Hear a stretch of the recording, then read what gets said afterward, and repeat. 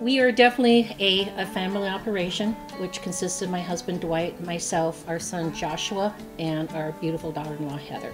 A lot of times when people see me out at the farmers market, direct marketing, or at other events, they, they see me kind of as the, as the face, but I am a very small cog in the very big family business that we're doing. We also produce small grains, and our son and daughter-in-law they also have some cattle. You're going to hear some noisy goats out there once in a while but that but mostly raising sheep is our primary business. But we raise these sheep in clean open natural resource areas. We practice soil health. We do a lot of uh, health management on all of our livestock and on our sheep to make sure that we are growing the healthiest livestock possible, that we can provide great quality meat to the public. My husband and I are fourth generation sheep producers. I'm originally from Harding County. My husband is a, North Dakotan. Our son will be fifth and our grandbabies will be sixth generation in South Dakota agriculture. Like I said, animal health is absolutely critical what, what we do. Right now, we're just getting done weaning the lambs off of the of the ewes. The ewes are out there in pasture on the on the beautiful green pastures because we have so much wonderful rain that we we have plenty of green grass this year. But we do keep the lambs housed. That's mostly because of predators.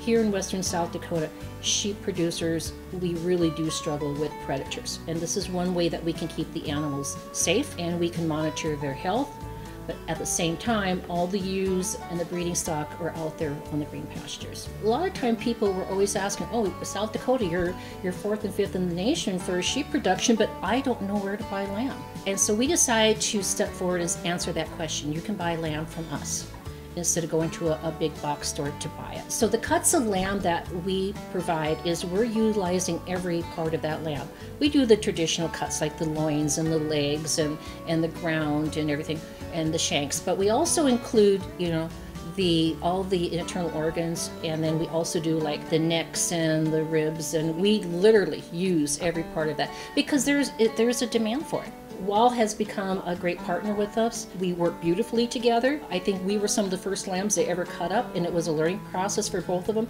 but they came forward.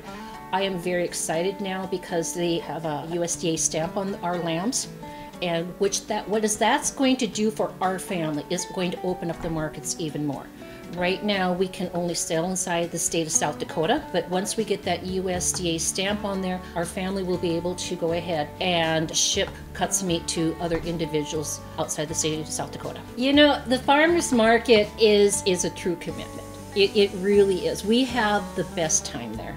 11th year now of, of doing this. We give out free samples and what we have done the last couple years, we started making these ready to eat meals so you can enjoy, you know, our family's Irish stew or shepherd's pie or the taste of the Middle Eastern uh, which is the Middle Eastern shredded lamb with rice and chickpeas, or the Mediterranean, so going to have your Euro flavors, or a lamb enchilada.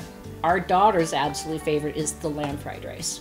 The farmers market is year round. We are there though from the 1st of May until about October. And then you can also find our product at Wahl Meats, the cuts. Dakota Seafood has our, our cuts of lamb there. And then our ready-made meals, you can find them in Cenex Travel Center in Belle Fourche, Lueders in Belle Fourche, Lueders in Spearfish, at the Elkhorn Travel Center. That's the one off uh, heading to Deadwood. Um, you can find it at Hager's and at Staple and Spice in Rapid City. www.kitzanfamilyfarm.com. You're going to find some family history. You're going to find uh, where our projects are at.